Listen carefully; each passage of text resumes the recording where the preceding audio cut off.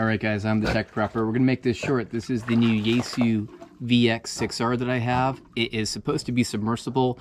Uh, it is IPX7 rated, which means I can have it underwater for 30 minutes at about a meter or shallower depth.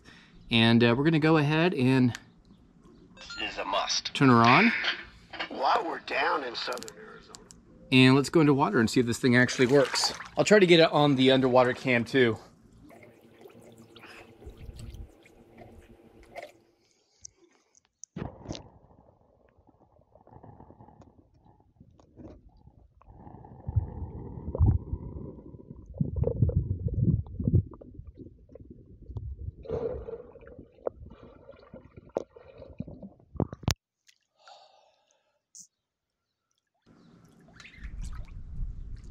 All right, hopefully that worked.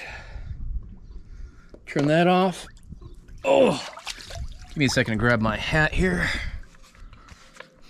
Glasses. And it's too hot for uh, for coffee, so I don't know if I mentioned it, guys, but uh, it's the Tech Prepper. I'm glad you guys are here with me. Let's see if this bad boy's still working.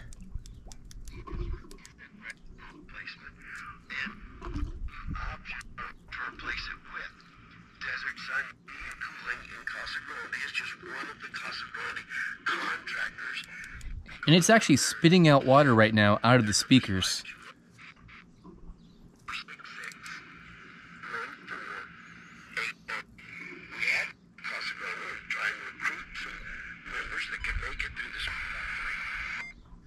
And I'm going to try a local repeater. Um, if I'm not able to raise anybody, because it's going to be kind of tough for my home QTH, uh, we'll see if I'm actually able to at least get the repeater acknowledgement.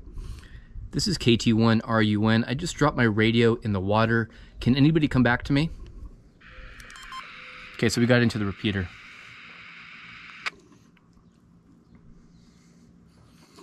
And this is the reason why I bought this radio was that um, I needed something a little bit more durable out in the desert on my trail runs.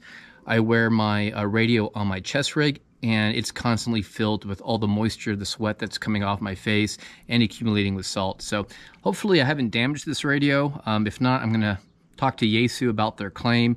I was only underwater for what, 15, 20 seconds at no more than uh, about, you know, a foot or two. So we'll see.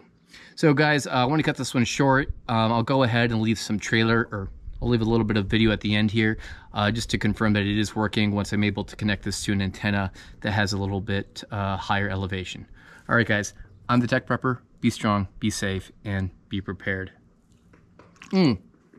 And we'll do a full review of this later. This is just too new for me to talk about it, other than verifying the IPX7 claim.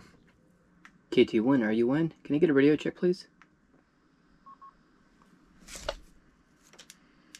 I like the uh, audible click here of the uh, the knob. Uh, your audio is really, really low. Uh, a little bit of noise, so you're not hitting real great. But communication quality, if you uh, get a little bit of better audio, uh, speak a little louder, closer to the mic, something.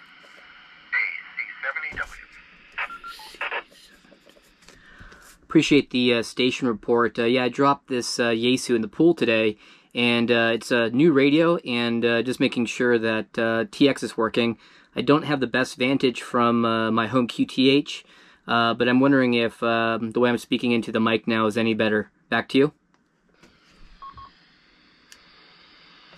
Much more understandable, very easy to understand, very communication quality.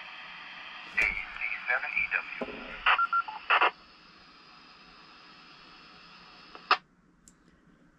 A7EW, this is KT1RUN. Uh, 73 to you, sir, and uh, appreciate the contact. All right, guys, so I guess I didn't brick um, the uh, Yaesu VX6R. Uh, I'm going to start doing a lot of trail runs with this, a lot of SOTA activations, but very happy that uh, that little underwater excursion didn't break anything. All right, guys, see you next time.